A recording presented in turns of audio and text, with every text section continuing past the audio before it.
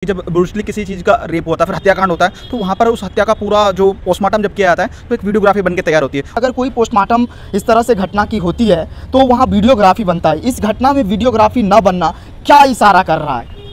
इतना कुछ हो रहा था रविंद्र मेहरा पे आरोप लगा रहे थे तमाम लोगों पे आरोप लग रहे थे तो ये चीज़ें सामने क्यों नहीं निकल के आई? कहीं ना कहीं पुलिस प्रशासन इसमें अनदेखी करता हुआ नज़र आया। पता नहीं थी उनको जानकारी नहीं थी कि उनके भाई की शादी राबिया सेफी से हो चुकी थी। वाइफ को राबिया सेफी को मारा है। क्यों मारा है? वो ये कहते हैं कि उसके चरित्र पे उनको शक सवाल। उठ- किस तरह से हथियार किन हथियारों का इस्तेमाल हो ये सब चीज़ें तह खुल के आती है। लेकिन वहाँ पर इन चीज़ों को छुपाया गया उन चीज़ों को अनदेखी की गई।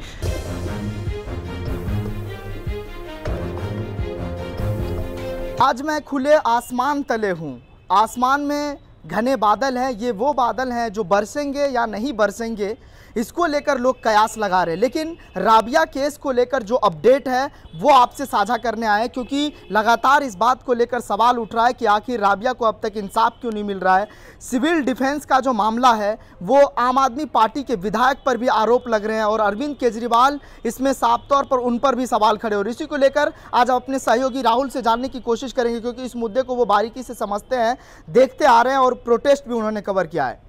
राहुल मैं आपसे समझना चाह रहा हूँ सिविल डिफेंस का जो मामला है राबिया को लेकर। अब तक क्यों इंसाफ नहीं मिल रहा है? क्या कुछ नई जानकारी है जो अब तक का अपडेट है? वो जरा दर्शकों से साझा कीजिए। सबसे पहले सभी दर्शकों का बहुत बहुत धन्यवाद। आभार प्रकट करता हूँ। राबिया केस में नए अपडेट्स जो निकल के अब सामने आ रहे मेरी बात हुई कुछ वकीलों से। हम कालंदीगंज के थाने में भी गए। वहाँ पर भी हमने जाँच पड़ताल पूरी विस्तृत तरीके से करनी चाहिए। और उसमें जो निकल के सामने आए वो यही निकल के सामने ये कहीं ना कहीं केस को भटकाया जा रहा है। जो आरोप लगाए जा रहे थे जो आरोप अब तक सिद्ध नहीं हो पा रहे थे उसमें भी कहीं ना कहीं जो कड़िया है वो अब खुलती हुई नज़र आ रही है। चाहे वो निज़ामुद्दीन जो अपने आप को राबिया के जी जी जी, आरोपी निज़ामुद्दीन अपने आप को बता रहे थे कि मैं राबिया का कथित तौर पर पति हूँ जो अब तक सिद्ध नहीं हुआ। उन्होंने कुछ एविडेंस भी दिए उनके भाई से भी मेरी बात हुई।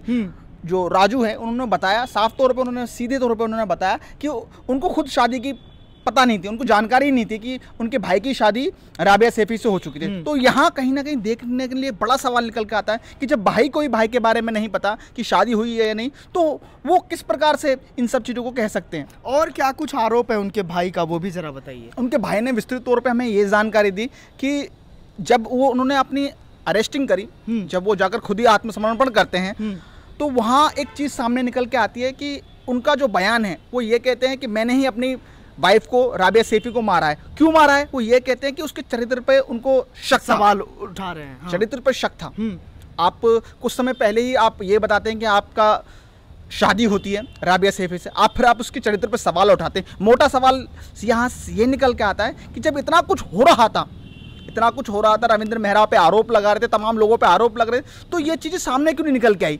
कहीं ना कहीं पुलिस प्रशासन इसमें अनदेखी करता हुआ नज़र आया। कहीं ना कहीं जो डिपार्टमेंट है जिसपे आप आरोप लग रहे रविंद्र मेहरा पे जो सीधे तौर पर उन्होंने खुद आरोप लगाए कि वो इस चीज़ के दबाने का काम कर रहे हैं इस चीज़ को पूरा छुपाने का काम कर रहे हैं वो इस चीज़ को इसलिए छुपाना चाह रहे हैं क्योंकि कहीं ना कहीं जो तहती ये चालान का जो मामला था जो एक फर्जी चालान फर्जी मास्क काटने के जो चालान थे तमाम जो चीज़ें थी ये चीज़ें निकल के आ रही थी। क्या ये मान लिया जाए कि जो ये चालान का मामला है जी। वो सच्चाई को उजागर करना चाहिए उनकी सजा मिली है? बिल्कुल जो राबिया सेफी को जो सज़ा है जो ये पूरा हम वाक्य जिसमें हम बार बार इस चीज़ों को हम बताने का कोशिश कर रहे हैं दर्शकों से साझा कोशिश कर रहे हैं जो ये कहीं ना कहीं पूरा विवाद है ये कहीं ना कहीं एक बहुत बड़ी जो साजिश थी जो वहाँ पर धड़ल्ले से चल रही थी उस चीज़ को निकल के सामने आती लेकिन उस बेटी को उस बहन को बर्बरता पूर्वक दबाने का काम किया छप्पन जगह बुड़चली उसको घायल किया गया और फिर उसकी हत्या कर दी गई। तो ये एक बड़ा सवाल निकल के आया।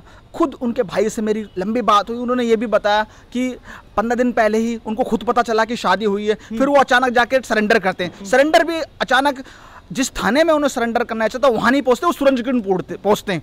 क्यों पहुँचते कि उन्हें पता था कि अगर वो उस जिस थाने पे उनकी हत्या का पूरा जो जानकारी थी, जिस थाने के पास उनकी एविडेंस थे, वो वहाँ ना पहुँच के दूसरे थाने में अपनी आत्मसमर्पण करते तो ये कहानी को उलझाता है। राहुल, मैं आपसे समझने की कोशिश कर रहा हूँ, आपकी प्रतिक्रिया जानना चाह रहा हूँ कि अगर कोई पोस्टमार्टम इस तरह से घटना की होती है तो वहाँ वीडियोग्राफी बनता है। इस घटना में वीडियोग्राफी न बनना क्या इशारा कर रहा है?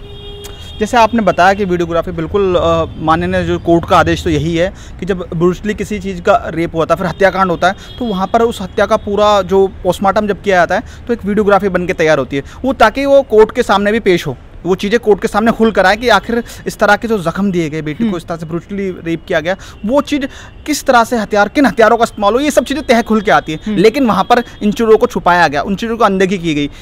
शासन प्रशासन पुलिस प्रशासन इस चीज़ों को दबाने का काम कर रहे हैं। साफ़ इसमें साफ़ तौर पे मोटे तौर पे दे देखा जा सकता है कि ये सब चीज़ें दबाने का काम कर रहे हैं। अब चाहे मेरे सुप्रीम कोर्ट के जो अभिवक्ता थे महमूद पाचा जी से उनसे बात हुई उन्होंने भी यही बताया उन्होंने सीधे सीधे तो- बड़े लोगों का नाम इसमें बड़े लोगों चाहे वो रविंद्र मेहरा हो चाहे वो खुद आम आदमी पार्टी के विधायक हो तमाम जो लोग हैं जो इस चीज़ को दबाने का काम कर रहे हैं चीज़ को छुपाने का काम कर रहे हैं और बेटी को न्याय दिलाने का काम नहीं हो रहा यहाँ कहा जा रहा है कि जब हमारी वहाँ के पीड़ित जो परिवार है वहाँ पर जब प्रदर्शन हो रहा था।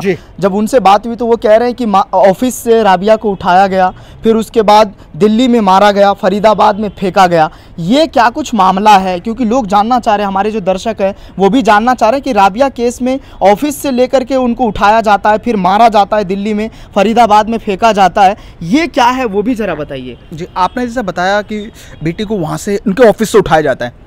ऑफ़िस से उठाकर उन्हें कालंदी कुंज लिया आया जाता है। सूरज कुंज में उनकी डेड बॉडी मिलती। है तो ये मामले को कहीं ना कहीं भटकाने की पूरी साजिश एक पुलिस सीमा विवाद बता रही है कि ये सीमा विवाद जी का जी मैं मैं उस मैं उसी बात पर वापस आना चाहता हूँ। कहीं ना कहीं मामले को एक कहने पूरे मामले को पूरे मुद्दे को भटकाने की कोशिश की जा रही है। आप जा आप, आप खुद देख लीजिए जो ऑन रिकॉर्ड ऑन ड्यूटी पर जो मौजूद हैं वहाँ पे लोग। वो इस चीज़ को मौन बनने का कारण कर रहे हैं। वो इसीलिए मौन है कि उन्हें सब चीज़ों को पता था। राबिया को कुछ ऐसी जानकारी कुछ एवी एविडेंस मिल गए थे जो पूरे डिपार्टमेंट का पर्दाफाश कर दी थी। परंतु उन्होंने इस चीज़ को नहीं किया। उस बेटी की बर्बरतापूर्वक हत्या कर दी गई। बाद में सारे एविडेंस मिटा दिए गए और उनको सीमा से अलग इसीलिए डाल दिया गया उसकी डेड बॉडी को ताकि जब जानकारी जब इस चीज़ की जाँच निकले जब सीबीआई इस चीज़ के तह तक जाकर जाँच करे तो मामला उलझ के ही रह जाए और बेटी को न्याय ना मिले। तो बड़े सवाल निकल के आते हैं यहाँ पे। बिल्कुल सही कह रहे हैं बहुत शुक्रिया हमसे बात करने के लिए। तो आपने सुना ये हमारे सहयोगी राहुल जो इस बारे के इस घटना के बारे में बता रहे थे जो उन्होंने देखा जो समझा उनके वकील से बातचीत हुई परिवार वालों से बातचीत हुई उनके भाई से बातचीत हुई है। उन्होंने क्या कुछ कहा है जो हमने आपको साझा किया?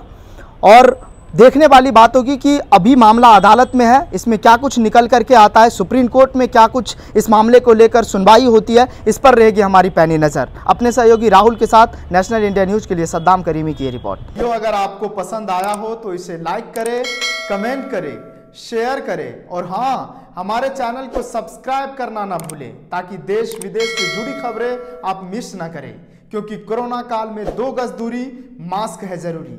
नमस्कार।